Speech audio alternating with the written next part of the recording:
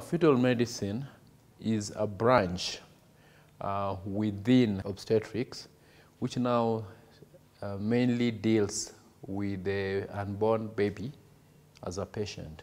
So our work is to treat and ensure the well-being of the unborn uh, baby uh, from the time we either diagnose they have an issue or from the time we realize that the mother has a condition that we think could affect the baby and optimize their health and well-being till the time they are delivered.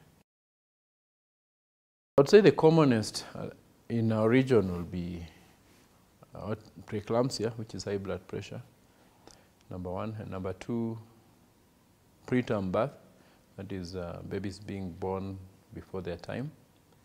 And uh, of note, which goes with the two, is what we'll call uh, growth restriction, where the baby does not achieve the, their normal growth that they're supposed to achieve while in the womb. Commonest interventions that uh, uh, we will undertake are things like uh, diagnostic test where we remove some fluid from around the baby or blood from the baby and take for testing, what we call amniocentesis. And then we do treat uh, babies that have conditions like fluid in the chest, we can drain it.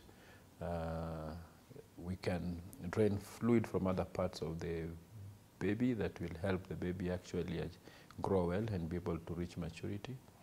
There are rare circumstances where we encounter babies that uh, have anemia, very low blood levels, and in such situations, then uh, we offer intervention by transfusing these babies while they're in the womb, and this actually improves the outcomes, and most of these babies are born alive and live normal lives.